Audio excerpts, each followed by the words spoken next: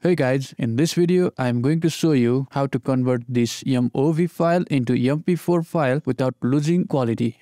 Which means the MP4 file will exactly look like this MOV file without any change in quality. The first way I am going to show you is very simple. You need to right click and click show more options then click on rename.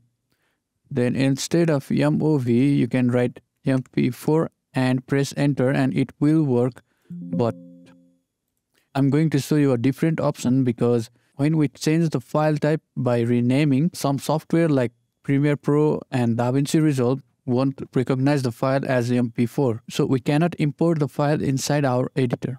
That's why I am going to show you another way to convert MOV to MP4 without quality loss and believe me, the file will be supported by any software out there. So let's begin. First of all, I want you to open VLC Media Player. By using this, we are going to convert this MOV file into MP4. So first of all, click this media option, then click this convert slash save. Now, in this section, we are going to add our file. Just click this add button and locate your file. This is the file I am going to convert. Click it and click open. If you need other files to convert at once, then click this add and select your files.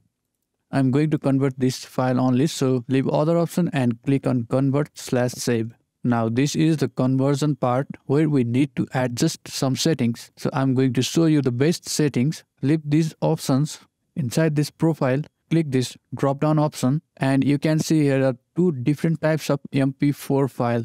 This one is H.264 plus MP3, which means video will be H.264 and audio will be MP3.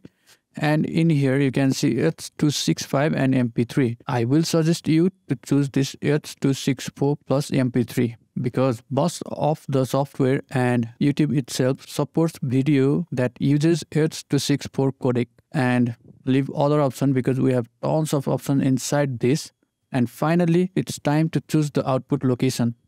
So click browse. I will save it to desktop and don't forget to remove this MOV. Click on save.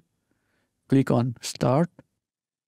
This might take some time depending upon the hardware and believe me, you are going to get a lossless quality video